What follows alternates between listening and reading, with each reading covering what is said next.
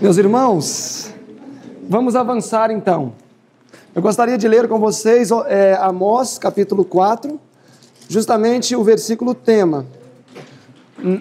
Ontem à noite estudamos sobre o chamado que foi feito a Israel a se encontrarem com o Senhor no Sinai.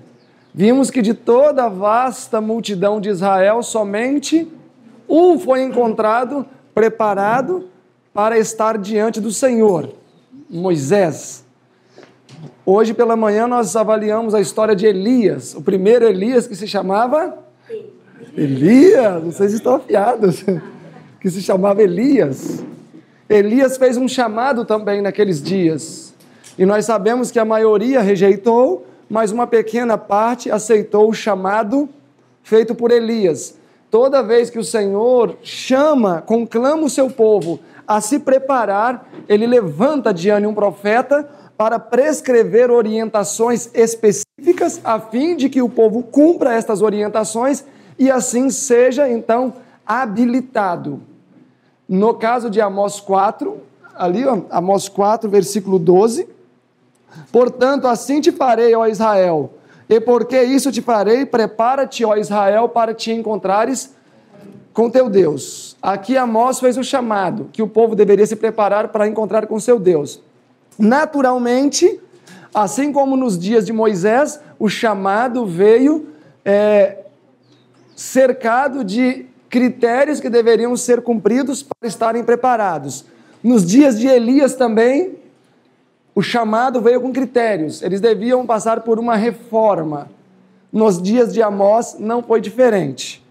Eles também necessitariam passar por reformas para estarem prontos para encontrar-se com o Senhor. Uma pergunta: o dia de, do Senhor, nos dias de Amós, prepara-te, ó Israel, para encontrares com o Senhor. Nós sabemos que este é o dia do Senhor, capítulo 5 de Amós, verso 18.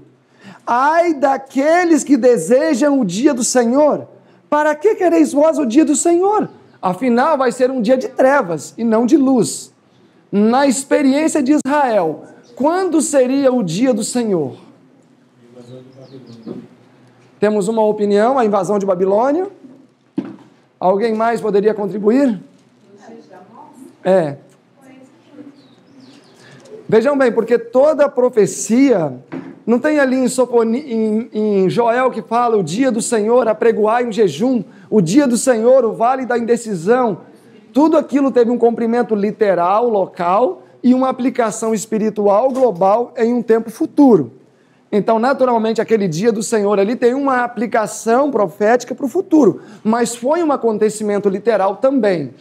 Então, o que seria o dia do Senhor para os que viviam no dia de Amós? Dia de acerto de contas, mas qual dia foi esse? Tem data.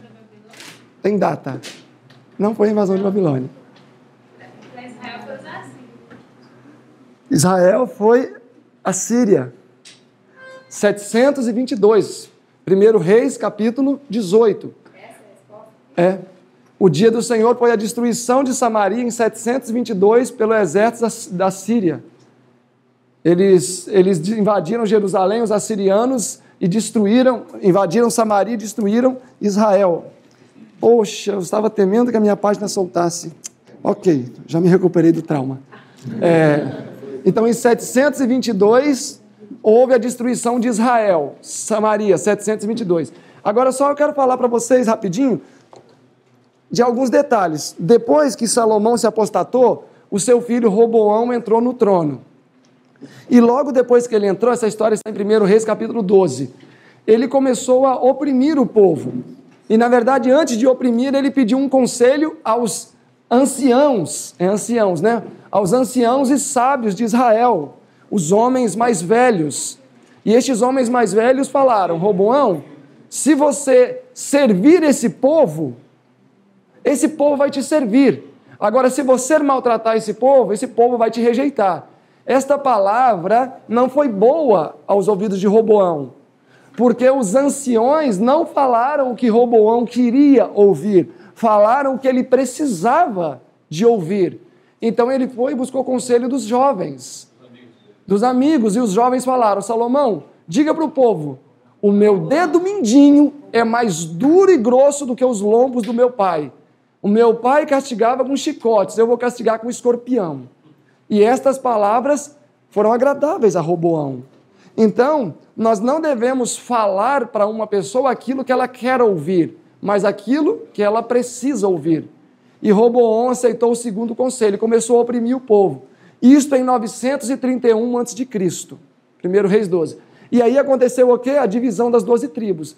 Dez tribos constituíam o reino do norte, Samaria, e duas tribos o reino do sul, Jerusalém. Judá e Benjamim, o sul, as outras dez, o reino do norte. Então, a partir de a partir desta divisão, 931, Deus passou a levantar profetas para, os, para as duas casas de Israel. Isaías diz isso.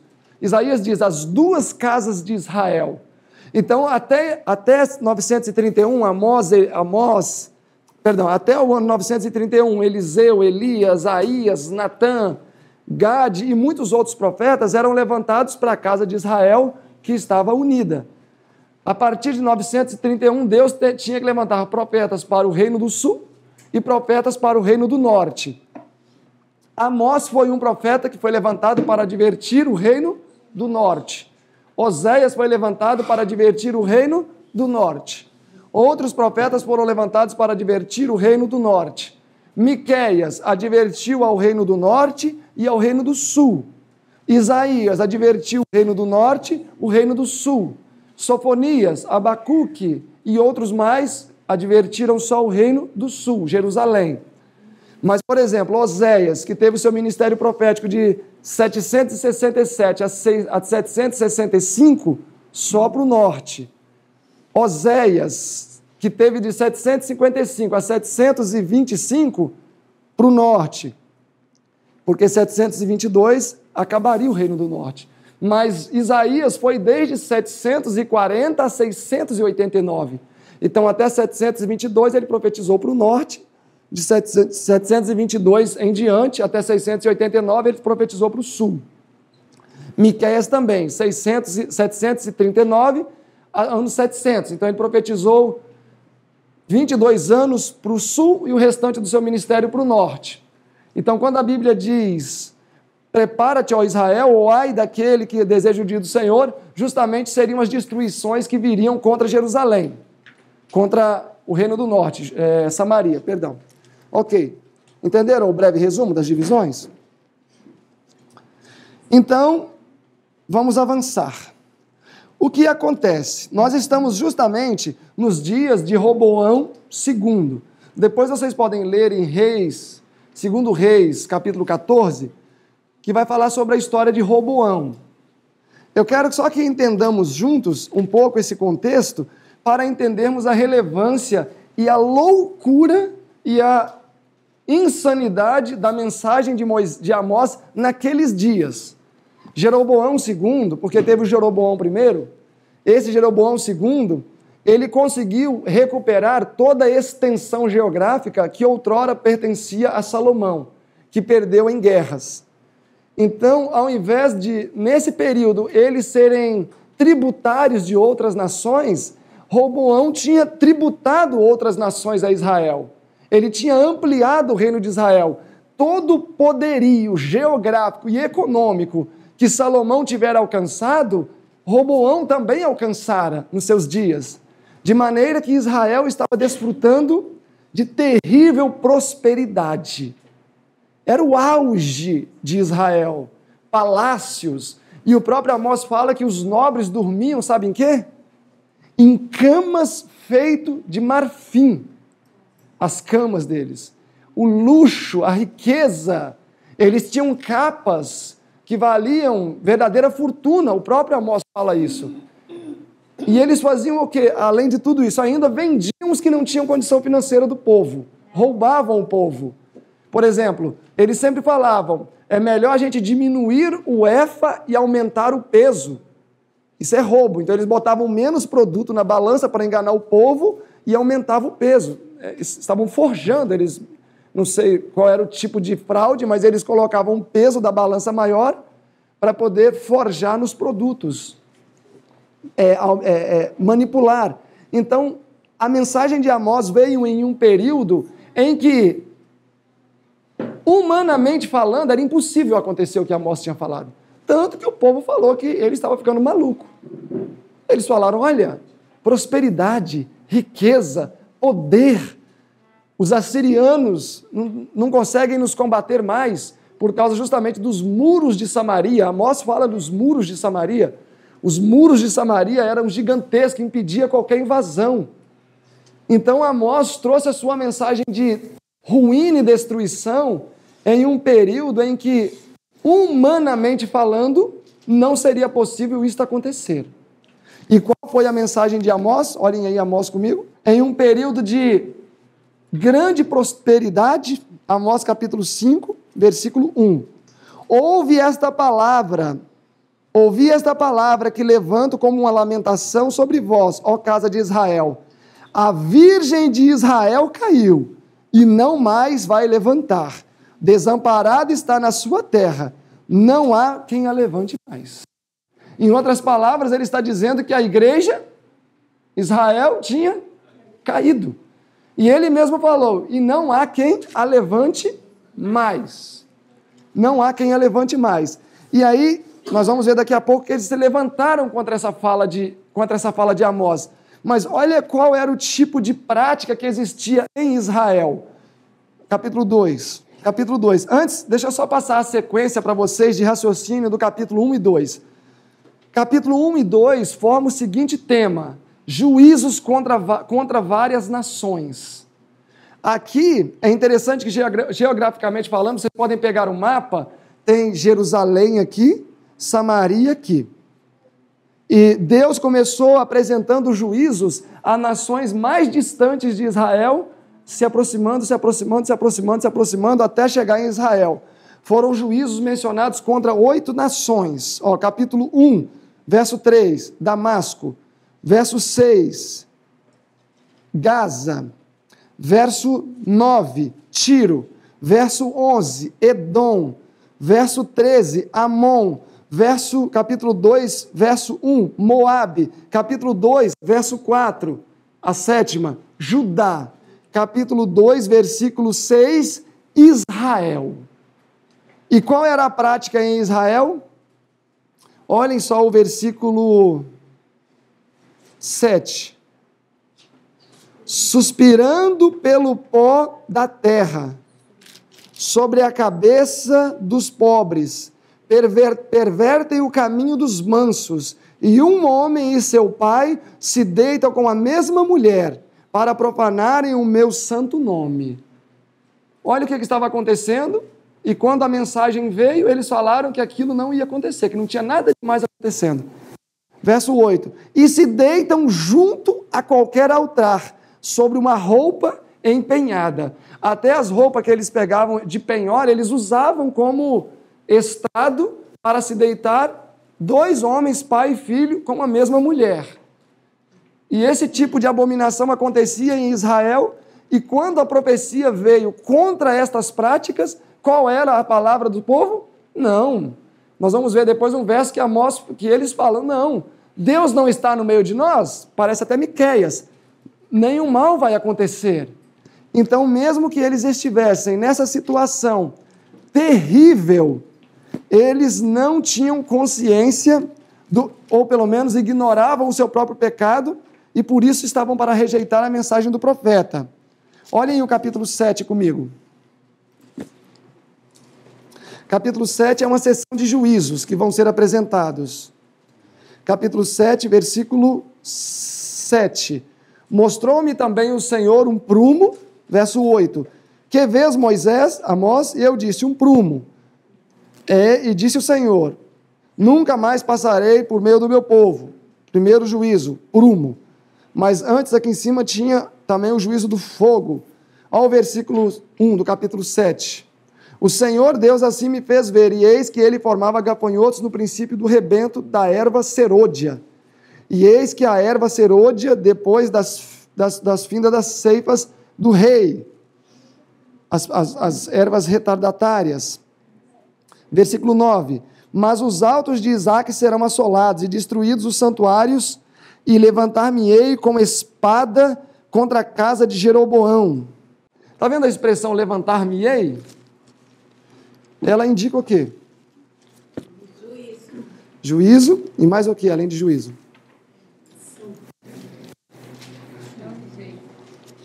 Juízo e algo mais. Levantar. Levantou-se Miguel. Fechamento da porta da graça. Olha o capítulo 9, verso 1. E viu o Senhor, e ele estava de pé sobre o altar. Então, em outras palavras, Amós está dizendo o quê? Que a porta da graça estava se fechando para Israel, o reino do norte. Ok. Capítulo 7, versículo 10. Então Amazias, o sacerdote de Betel, mandou dizer a Jeroboão, rei de Israel: Jeroboão, Amós tem conspirado contra ti no meio da casa de Israel. A terra não poderá sofrer as suas palavras. Porque assim diz Amós: Jeroboão morrerá a espada, e Israel certamente será levado para fora de sua terra em cativeiro. Depois Amazias disse a Amós: Vai, ó profeta, foge para a terra de Judá ali você come pão, ali você profetiza. Mas em Betel, daqui por diante, não profetizas mais, porque é o santuário do rei e a casa do rei. Então, eles aceitaram ou rejeitaram a, a, a, a profecia de Amós?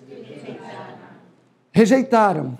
Rejeitaram. Capítulo 5, verso 2. A virgem de Israel caiu e não há quem a levante. Irmãos, vocês acham que essa mensagem seria popular se fosse pregada hoje? Não. Será que eles iriam achar que estávamos falando imbuídos pela verdade? Porque é interessante, não está escrito aqui que por causa da negligência Israel não caiu? Se hoje existe negligência, Deus não pode permitir que juízos assolem essa igreja agora também nos últimos dias? Eu não estou falando de rejeição. Porque Deus rejeitou Israel aqui? Não. É, é, as tribos foram destruídas, mas o povo de Israel em si foi rejeitado quando? Só no ano 34. Só no ano 34. Nos dias de Ezequias e outros reis mais, eles chamaram os de Samaria para adorarem em Jerusalém. Não é questão de Deus rejeitar a sua igreja e agora já se tornou Babilônia. Não é isso. Mas Deus permitiu que viessem severos juízos em 586, por exemplo, o templo foi devastado, destruído. Não sobrou nada. Então, quando uma igreja professa e sustenta a sua autoridade com base em um título, mas não se preocupa em viver em harmonia com isso, com as condições, ela pode estar em uma plataforma desfavorável. E Amós falou que a igreja ali naqueles dias iria cair e não poderia se fazer nada por ela, por causa da iniquidade. Haverá um momento, como a, doutora André está apresentando, que a sacudidura vai se intensificar tanto que as coisas vão ficar muito claras. Quem é quem do lado do, é, é, nesse conflito? Não é necessário tentarmos discernir quem é o joio, quem é o trigo, porque nós não, consigo, não conseguimos olhar além da aparência. Mas vai chegar um momento em que nós vamos ter que, de fato, nos posicionar. Nós vamos ter que tomar uma decisão pró ou contra a verdade. E nesse momento nós não vamos poder consultar nada a nossa consciência e a nossa consciência para com Deus. Porque se nós formos nos preocupar com o que vão pensar de nós, ou o que vão dizer de nós, ou o que vão achar de nós, os profetas não teriam feito nada. Eles não se preocupavam com isso. Porque hoje não se pode agradar gregos e troianos. Se você se posiciona pela verdade, certamente você vai ter problemas. Por exemplo, lá em São Paulo, um grupo de 10 pessoas foram excluídos.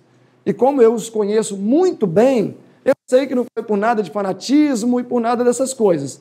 Tanto que eu conheço eles pessoalmente, são pessoas muito equilibradas, até o Alexandre Dantas, um homem trabalhador, missionário, mas simplesmente porque foi fazer o quê? Foi tinha um grupo de estudo lá e teve esse problema sério. Avancem comigo aqui para Isaías. Então vai chegar um momento que nós vamos ter que tomar a nossa decisão. Mesmo que isso custe um pouco caro. Isaías, todos estão lá? Capítulo 18. O profeta Isaías começou a profetizar 15 anos após o término do ministério de Amós, de maneira que as suas profecias são muito similares. Então Amós concluiu o seu ministério no ano 755.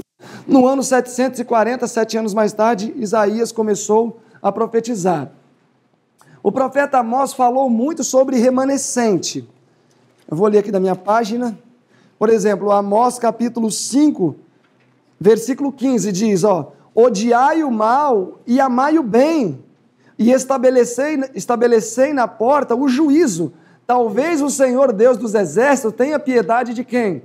Do remanescente. Então, ainda que a apostasia tivesse predominante, existiu quem em Israel? Um remanescente. Olhem aí o capítulo 7 de Amós, perdão, capítulo 9 de Amós, versículo 1. Vi o Senhor que estava em pé sobre o altar e me disse: Fere o capitel e estremeçam os umbrais, e faze tudo em pedaços sobre a cabeça de todos eles, e eu matarei a espada até o último deles nenhum deles conseguirá fugir, nenhum deles conseguirá escapar. Nenhum deles. Verso 2: Ainda que cavem até o inferno, a minha mão os tirará dali. Se subirem até o céu, dali os farei descer. Verso 7: Não me sois vós, ó Senhor, não fiz eu vocês subirem da terra de Israel, do Egito? Verso 8: Eis que os olhos do Senhor Deus estão contra este reino pecador, e eu o destruirei de sobre a terra. Mas não destruirei de todo a casa de Jacó, diz o Senhor. Por que, que ele não vai destruir de todo a casa de Jacó? Porque tinha um remanescente. Então, tá vendo que no verso 1, quando diz: Vou matar a todos eles, nós precisamos entender a Bíblia dentro do seu contexto. Esse todos eles não são bem todos eles, porque existia um, um remanescente. Todos os ímpios. Aí o, aí o verso 9 entra com o tema que foi apresentado da doutora Andréia, ó. Porque eis que eu darei ordem e sacudirei a casa de Israel entre todas as nações, assim como se sacode grão do crivo, sem que caia um só grão na terra todos os pecadores do meu povo vão morrer à espada. Os que dizem, não nos alcançará, nem nos encontrará mal algum. Ou seja, nenhum mal virá sobre nós. Todos esses, o texto diz que seriam sacudidos. Irmãos, o remanescente. O nosso maior desejo é ser o remanescente, fazer parte do remanescente. Vamos comigo a Isaías 18 agora eu quero que avaliemos aqui o remanescente. Vamos ver a proposta desses versículos é ver onde está de fato o remanescente, ou a maior parte do remanescente. Capítulo 18, verso 1. Ai da terra que assombreia com as suas asas, que está além dos rios da Etiópia. Memorizem a expressão, além dos rios da Etiópia que envia embaixadores por mar em navios de junco sobre as águas, dizendo: Ide mensageiros velozes a um povo de elevada estatura e pele lisa, a um povo terrível desde o seu princípio, a uma nação forte e esmagadora, cujos rios a terra dividem. Então, esse, esse povo deveria ir para além dos rios da Etiópia. Verso 3: Vós, todos os habitantes do mundo, e vós, moradores da terra, quando se alvorar a bandeira sobre os montes, o verei, quando soar a trombeta, o ouvireis. O que seria alvorar a bandeira sobre os montes? O alto clamor? Quem mais acha que seria o alto clamor? Decisão.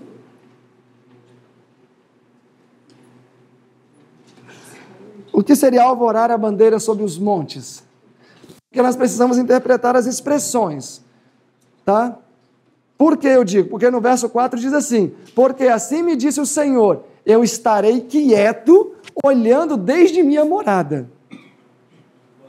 Como o ardor do sol depois da chuva, como a nuvem do, do orvalho, no calor da cega. O que é está acontecendo no versículo 4? Porque antes da cega, o fruto precisa estar perfeito, diz o verso 5. Nós estamos antes de qual evento? Antes de qual evento no verso 5? A volta de Jesus. Ok, vamos ver o que é alvorar a bandeira sobre os montes. É, podem deixar aberto aí, vamos a Isaías 5. Todos estão lá? Aí pertinho. Verso 25: Por isso se acendeu a ira do Senhor contra o seu povo. Quem é o seu povo aqui? O povo de Israel, o povo de Deus. O que, o que seria a ira de Deus? As pragas. As pragas, Apocalipse 15, verso 1. Ira e praga a mesma coisa. E vi, os, e, vi último, e vi sete anjos voando, tendo na sua mão sete taças, pois nas taças é consumada a ira de Deus. Então, ira e praga a mesma coisa. Ok, por isso se acendeu a ira do Senhor contra o seu povo, e estendeu a sua mão contra ele, e, feriu, e, e o feriu, de modo que as montanhas tremeram e os seus cadáveres se fizeram como lixo no meio das ruas. Com tudo isto, não tornou para trás a sua ira, mas a sua mão estava estendida. Vocês conseguem entender esse verso? A mão estendida significa o quê? Que há salvação, a porta da graça não se fechou. Mas por que, que a ira, então, a porta da graça estava fechada? Isso quer dizer que a porta da graça fecha primeiro para quem? para aqueles que têm consciência, para o povo de Deus. Mas enquanto fecha para o povo de Deus, ainda há oportunidade de salvação para os de fora. Não, a linguagem simbólica. É, fechamento da porta da graça para o povo de Deus, para os conscientes. O julgamento não começa primeiro pela minha casa? Sim. Verso 26. E ele fará o quê? Alvarará a bandeira. Se lembra da expressão lá? Alvorará a bandeira e ele alvorará a bandeira para as nações de longe. E lhes assobiará. O que é esse assobio? O alto clamor, os rumores do Oriente, Daniel 11, 44.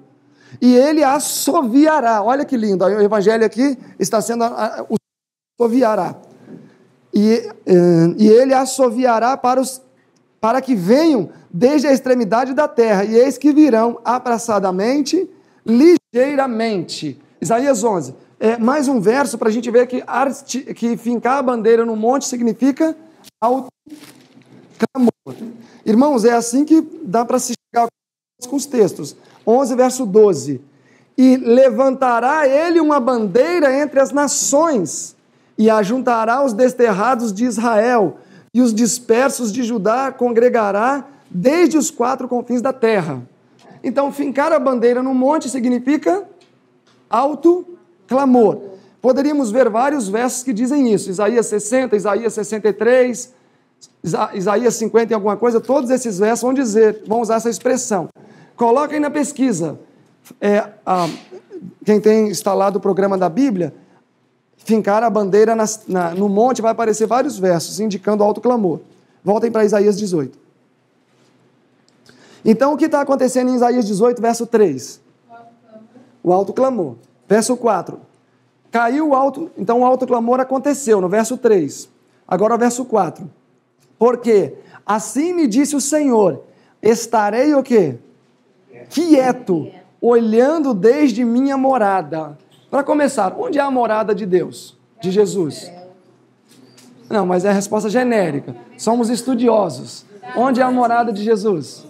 no, san, no santuário e dependendo da época em distintas fases. Agora, sendo mais específico, na chuva serôdia caindo, no Santíssimo. O que seria Jesus estar quieto no Santíssimo? Apocalipse responde, né? O silêncio do céu quando ele acaba de... Fechamento da porta da graça. Olhem aí Ezequiel capítulo 8. Ezequiel 8, verso 18. Ó, Ezequiel 8 antes tem várias abominações. Aí tem o verso 16. Levou-me ao átrio interior da casa do Senhor, e eis que estavam à entrada do templo do Senhor, entre o pórtico e o altar, cerca de 25 homens de costas para o templo do Senhor, e com o rosto para o oriente, eles virados para o oriente adoravam o sol. Aqui eles tinham virado as costas à verdadeira adoração e aceitaram o falso dia de adoração. Então, em Ezequiel capítulo 8, temos o selo de Satanás o domingo, o número da besta. Em Ezequiel 9 temos o quê? O selo de Deus. O selamento, o selo de Deus. Ezequiel 8, o selo de Satanás. Ezequiel 9, o selo de Deus. E olha o verso 18. Por isso também, ou seja, o decreto dominical acontece no verso 16 do capítulo 8. Verso 18 agora. Por isso também eu os tratarei com furor. Outra palavra para furor. Ira. Ira. Outra palavra para ir? Pragas. Por isso também os tratarei com pragas, e o meu olho não poupará, nem terei piedade. Ainda que eles me gritem, não ouvirei. Ou seja, estarei quieto. Então, por que, que Deus estará quieto? Porque ele terá cessado a intercessão, não vai intercedendo mais. Ezequiel 8, 18. Ok, nós poderíamos ver muitos versos, então vamos ver mais um pelo menos. Miqueias. Miqueias, olhem em Miqueias comigo. Miqueias 3. Todos estão lá? Antes, Miqueias 1, só para ter um contexto. Todos estão em Miqueias? Miqueias 1, verso 3. Por, porque eis que o Senhor está para sair do seu lugar. Interpretem para mim o lugar do Senhor. Santíssimo. Santuário e dependendo do contexto, santo ou santíssimo. Mas se ele está para sair do seu lugar e estamos falando de eventos finais, santíssimo. O texto diz: Porque eis que o Senhor está para sair do seu lugar. Ele saiu? Não, está para sair. Nós estamos em iminência de acontecer o quê? Fechamento da porta da graça. Miqueias 1:3. E descerá e andará sobre a altura da terra, e os montes debaixo do seu pé vão se derreter. Ok, andará, futuro. Agora olhem o capítulo 3 de Miqueias. 3, verso 4. Então clamarão ao Senhor, mas o Senhor não vai ouvi-los mais. Antes o Senhor vai esconder dele o seu rosto naquele tempo. Interpretem para mim aquele tempo. O tempo da porta da graça? Porta da graça. O texto diz que eles vão clamar, mas o Senhor não vai mais ouvir. Então, Isaías 18, verso 4: Estarei quieto na minha morada. Então, o que é o Senhor está quieto? Ele deixou de interceder. Fim da intercessão. Então, no verso 3 temos o quê? Chuva serôdia. No verso 4 temos o quê? Fim da intercessão. Final da intercessão. Parte final do verso 4. Estarei quieto na minha morada. Ok, e nesse período, o que o povo de Deus deve estar fazendo? Passando pelo tempo de angústia. Passando pelo tempo de angústia também. Olhem aí, Sofonias. Sofonias. Capítulo 2. Sofonias 2. Congregai-vos, verso 1. Sim, congregai-vos, ó nação não desejável, antes que o decreto produza o seu efeito. Qual é o decreto aqui? Qual é o decreto? Não é o decreto dominical. O capítulo 3, verso 8, responde qual é o decreto. Portanto, esperai-me, diz o Senhor, no dia em que eu me quando Jesus se levanta é sinal de quê? Fechamento da porta da graça. Daniel 12, verso 1. Naquele tempo se levantará Miguel e haverá um tempo de angústia tal a qual nunca houve. Atos 7, 56. No fechamento da porta da graça para os judeus, o texto diz: E Estevão, fitando seus olhos ao céu, viu o filho do homem que estava à direita, de pé à direita do Pai. Só que antes disso, Hebreus 8, 1 e 2 diz: O qual foi arrebatado e está sentado à destra do Pai e faz o que? Romanos 8,34. E intercede por nós. Então, Jesus sentado à direita do Pai, intercessão. Jesus apresentado de pé, final de intercessão. Então, o verso diz, é, Sofronias 3,8: Porque espera-me, diz o Senhor, para eu levantar-me para despojo, porque este é o meu decreto. Não está aí? Ajuntar as nações e sobre eles derramar as minhas pragas, ou a minha ira. Então, o decreto de Soponias aqui justamente seria Deus derramando as pragas sobre os impenitentes. Sofonias 2:2. Vamos retomar então. Antes que os, o decreto produza o seu efeito e o dia do Senhor passe como a pragana, antes que venha sobre vós o furor da ira do Senhor. Interpretem para mim, furor da ira. Pragas. Antes que venha sobre vós o dia da ira do Senhor. Verso 3. Buscai ao Senhor vós todos os mansos da terra, que tem disposto por obra o seu juízo. Buscai a justiça, buscai a mansidão. Pode ser que sejais escondidos no dia da ira do Senhor. O que é ser escondido? Ser protegido. Primeiros escritos, página 43, diz: Vi que Deus estava estendendo uma cobertura sobre o seu povo, com a qual eles seriam protegidos no tempo das pragas. Ela fala que essa cobertura é o selamento. O selamento seria a cobertura estendida sobre o seu povo. Agora voltem, vamos daqui para Isaías. É, 2, 1 a 3. Agora Isaías. Tal como o sangue do cordeiro, exatamente. Êxodo 12. Tal como o sangue do cordeiro. Olhem Isaías 26. Para a gente ver ainda qual. Eu perguntei o que o povo de Deus estaria fazendo. E nós estamos vendo, eles estariam cobertos. Todos estão lá? Isaías 26. Verso 16. Ó, os, ó Senhor, na angústia te buscaram. Vindo sobre eles a, a a tua correção, derramaram a sua oração secreta. Angústia, estamos falando aqui de eventos finais. Verso 20: Vai, pois, povo meu, entra no teu quarto, fecha as portas sobre ti, esconde-te só por um momento, até que passe a minha ira, ou até que passe as pragas porque eis que o Senhor sairá do seu lugar para castigar os moradores da terra por causa da sua iniquidade. Eu acho lindo esse versículo. Então o texto diz que o homem deveria irem para o seu quarto e ficarem ali. Por que, que eles deveriam ficar ali? Porque o Senhor vai sair do seu lugar. E o que seria o Senhor sair do seu lugar? Fechamento da porta da graça, fim da intercessão. As pragas iriam cair seria estar coberto, como está em Soponias 3.3, selamento. É, proteção pelo selamento. Ok, então o povo de Deus nesse momento estaria protegido pelo selamento. Voltem ao capítulo 18 de Isaías. 18. Porque assim me diz o Senhor, estarei quieto olhando desde minha morada. Então, enquanto o Senhor vai estar quieto olhando desde sua morada, onde vai estar o povo dele aqui na terra? escondido, protegidos, selados. Agora, como o ardor do sol, estou lendo o verso 4, como o ardor do sol resplandecente, depois da chuva, qual chuva aqui? Chuva serôdia. Como a nuvem do orvalho no calor da cega. Vocês entendem a expressão no calor da cega? É, no calor da cega é, eu vou fazer isso. Você está com aquela emoção, estou no, no afã de fazer, mas a cega ainda não aconteceu. Mas ela vai acontecer agora. Verso 5. Porque antes da cega, quando já o fruto está o quê? Perfeito. Deve então meter-se a foice. Então, qual é a condição do fruto para ser ceifado? Tem que estar perfeito maduro, tem que estar perfeito. Olhem em Isaías capítulo 4. Todos estão lá? Isaías 4? Mas antes, olhem só o contexto aí de Isaías 4. Isaías, Isaías 2, verso 2. E acontecerá nos últimos dias que o Senhor firmará o monte da casa do Senhor no cume dos montes, e se levantará por cima dos outeiros e correrão a eles todas as nações da terra. O que está acontecendo aqui?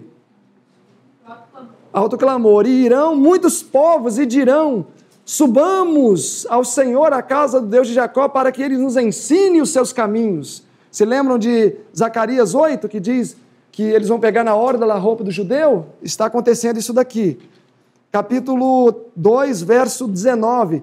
Então os homens entrarão nas cavernas das rochas e nas covas da terra, do terror do Senhor e da glória de Sua majestade, quando ele se levantar para selar a terra. Fechamento da porta da graça, verso 21, entrarão nas fendas das rochas, quando o Senhor levantar para abalar a terra, capítulo 3, verso 13. O Senhor se levantará para pleitear, o Senhor põe-se de pé para julgar os povos. Isaías 3, 13. Porta da graça fechada, capítulo 4, verso 2. Naquele dia, qual dia? No dia do Senhor, nos últimos dias, ali no finalzinho. O renovo do Senhor será cheio de beleza e a glória e glória. E o fruto da terra será perfeito e formoso para os que escaparem de Israel. Então, por mais de um lugar, nós vamos ver na Bíblia que o fruto precisa estar em qual condição? Perfeito. perfeito. E para mim, algo perfeito não pode ser imperfeito. 4.2. Então, o fruto tem que ser como? Perfeito. Capítulo 18 de Isaías, verso 19. Naquele tempo trará um presente ao Senhor dos exércitos, um povo de elevada estatura e pele lisa, um povo terrível desde o seu princípio. Quem é esse povo? 18, 19, 18, 9, né? Sim, 18 7. 18, 7. Pelo menos estão todos espertos, né? 18 7. Ó, naquele tempo, qual tempo? Agora nós estamos falando em um tempo depois da cega. As pragas já ficaram no passado, nós temos que avançar na cronologia. Naquele tempo é. Qual foi o último tempo indicado aqui? Não foi a cega? Foi. Então, então nós estamos naquele tempo depois da cega. Não, calor da cega é a iminência de colheita, é só isso. A iminência de Jesus é. voltar para colher. Isso, exatamente. Verso 7: Naquele tempo trará um presente ao Senhor dos exércitos um povo de elevada estatura e pele lisa. Quem é esse povo? Disseram 144 mil. Quantos concordam que seria os 144 mil? Porque o texto diz. É grande. Aqui, com certeza, não é, não é físico, porque senão eu estaria em vantagem e alguns de vocês em desvantagem. É, aqui é nobreza de caráter. Por exemplo, algumas traduções diz um povo de elevada estatura e pele lisa, pele macia alcançou o caráter de Cristo. Caráter de Cristo. Mas esse, esse, esse povo seria dado a Jesus como um presente. Ou seja, Jesus vai receber, ó, naquele tempo trará um presente ao Senhor. O que? Um povo de elevada estatura e pele lisa. Então, esse povo de elevada estatura e pele lisa vai ser dado de presente para Jesus. Por isso que não pode ser a grande multidão, tem que ser 144 mil. É, é que é muito específico, né? Ó, terrível é dura coisa é tratar com o terrível Deus. É. Vamos continuar lendo, ó. No tempo se trará um presente ao Senhor dos Exércitos, um povo de elevada estatura e pele lisa, um povo terrível desde o seu princípio, uma nação forte e esmagadora, cuja terra os rios dividem, ao lugar do nome do Senhor dos Exércitos, onde ele vai receber o presente? No Monte Sião. Apocalipse 14, verso 1: E eis que olhei e vi o Cordeiro de Deus no Monte Sião e com ele os 144 mil. O número? Ah, eu não vou responder assim. Teremos que avaliar. É. Mas esse presente que seria dado seria os 144 mil que vai ser dado como oferta para Jesus. As primícias, né? Sacrifício vivo. As primícias. Ok. Memorizaram a expressão rios da Etiópia, além dos rios da Etiópia? Sim. Tá, então vamos agora para. É, vamos para Soponias. Para além dos rios da Etiópia. Todos estão em Soponias? Capítulo 3? É, capítulo 3, verso 10. Da além dos rios da Etiópia. Alguma similaridade com Isaías 18? Sim. O que, é que tinha da além dos rios da Etiópia lá em Isaías 18? é um povo de elevada estatura e pele lisa. Agora que tem da além dos rios da Etiópia, quem está? Estão os meus zelosos adoradores. Então, qual é outro nome para para os povos de elevada estatura e pele lisa, segundo Sofonias? Zelosos, zelosos adoradores, que constituem a filha dos meus dispersos, me trarão sacrifício. Se vocês olharem o contexto, nós estamos também nos eventos finais. Olha o verso 8. Portanto, esperai-me, diz o Senhor, até o dia em que eu me levantar para o despojo, porque o meu decreto é ajuntar as nações e congregar os reinos, para sobre eles derramar a minha indignação e, o, o, e todo o ardor da minha ira, porque toda a terra será consumida pelo fogo do meu zelo. Então, estamos falando dos eventos finais. E no contexto dos eventos finais, temos os meus zelosos adoradores, novamente. Perdão, agora quem são esses zelosos adoradores? Verso 13. O remanescente de Israel, ou zelosos adoradores, não cometerá iniquidade, nem proferirá mentira, nem na sua boca se achará língua enganosa. Apocalipse 14, verso 5. Os 144 mil não tinha boca enganosa e nem se encontrou dolo em suas línguas. Então, quem são os meus zelosos adoradores aqui? 144 mil. Um povo humilde e pobre. E eles constituem. Quando a Bíblia fala, o que é constituir? Constituir é ser. Eu não sei se eu vou conseguir expressar a ideia, mas é constituir, é fazer parte ou é ser a totalidade? Faz parte. Faz parte, acho que eu expressei bem. Constituir. Então nós estamos falando agora de um remanescente que vai constituir quem? O povo de Deus. Então nós estamos falando de quem que vai ser agregado aqui? O restante dos salvos. Inclusive os que estão os que estão fora. Olhem Miqueias comigo. Igreja invisível. Miqueias capítulo 5. Todos estão lá? Já contando com aqueles que dormiram na mensagem, né? Exato, desde 44. Qual é o verso que fala do verso Oi? Qual é o verso Sofonias que fala do verso Miqueias. Sofonias 3, 10. 3, 10. 5, Miqueias 5, todos estão lá? Ó, primeiro só vamos nos conectar aos, aos eventos finais aqui. Miqueias 5, verso 4. E ele, Jesus, permanecerá e apacentará ao, povo na força do Senhor, na excelência do nome do Senhor, seu Deus. E eles permanecerão, porque agora ele será engrandecido até os confins da terra. O que está acontecendo aqui? Alto, alto clamor até os confins da terra. Agora olhem o verso 7. O remanescente de Jacó estará no meio de muitas povos. Verso 8: O remanescente de Jacó estará entre, ou como está na minha tradução, estará entre os gentios. Estará entre os gentios. Então, onde está o remanescente hoje, ou a grande parte do remanescente, segundo Miqueias? Está entre os gentios. Então, dá para se provar texto da irmã White pela própria Bíblia. Porque a irmã White fala que a maior parte do seu povo está onde? O povo de Deus está fora, não dentro. A Bíblia ensina a mesma coisa. Eu acho que é, é uma totalidade. Fazem parte e outros que não morreram. tem muitas ovelhas em outros Exatamente. Então a maior parte do povo de Deus hoje não encontra-se dentro. Agora vamos ver se vocês são estudiosos. E eu até li esse texto essa semana. Por que, que a maior parte não está dentro?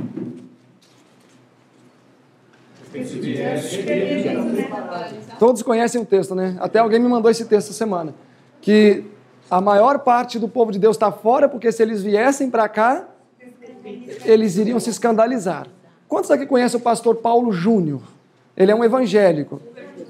A maioria conhece também? É. Ele é um excelente pregador, um homem muito sincero. E ele, ele é sério pregando. E uma vez eu topei ele no aeroporto do Rio de Janeiro, ele é sério fora também. Ele parece um soldado. Ele estava caminhando pela, pelo saguão, ele veio sério assim. E passou, eu ia até falar com ele, mas ele passou tão sério, subiu a escada. Falei, deixa ele ir. Hã? É, a gente mandou um para ele uma vez, alguém, um conhecido deu. Mas sabem qual é a visão que ele tem do adventista? Ele não gosta dos adventistas. Na verdade, ele não gosta mesmo dos adventistas. Ele fala que para ele é uma das maiores petulâncias a igreja adventista reivindicar o título de igreja remanescente e viver como eles vivem, ele diz. Eles reivindicam ser a igreja remanescente dos últimos dias e vivem como eles vivem. Então, será que se ele viesse para cá, ele seria excluído no primeiro mês, para começar, diante das mensagens que ele prega. Então a maior parte do povo não está dentro, está fora. E há um texto que o Sr. White fala que muitos de nós estamos só guardando lugar na fila. Já leram esse texto? Estamos guardando um lugar na fila que outros de fora vão ocupar. Então, meus irmãos, nós devemos ter em mente o seguinte: vamos fechar com esse verso aqui. Romanos. Vamos ver Romanos 9, 27, que é bom também. Ó. Também Isaías clama acerca de Israel. Ainda que o número de Israel seja como a areia do mar, o remanescente somente é o que será salvo. Mas agora o verso 6 que diz assim: Não que a palavra de Deus haja faltado, porque nem todos que são de Israel são israelitas. E nem todos que professam ser adventistas, de fato, são adventistas. Irmãos, o que quer dizer adventista? Advento, aqueles que aguardam a vinda de Cristo. Isso quer dizer adventista. Nós devemos ser adventistas não por CNPJ ou membresia, mas por mensagem. O que nos qualifica como adventistas do sétimo dia é como foram mostrados tantos textos aí de manhã que ter nome no livro da igreja não quer dizer ter nome no livro do céu. É ter o nome no livro do céu, mas o que nos qualifica como adventistas é mensagem. Se eu vivo, se eu professo ser um adventista, mas vivo como se eu não tivesse uma mensagem, eu não sou adventista. Agora, ainda que eu não tenha vínculos administrativos, mas se eu professo e vivo esta mensagem, eu vou ser o quê? Eu vou ser um adventista. Então, existem muitas pessoas aí fora, almas preciosas, mas quando que elas vão serem agregadas ao povo de Deus? A hora que o povo de Deus não oferecer nenhum risco para eles. Porque hoje nós somos um risco para os sinceros.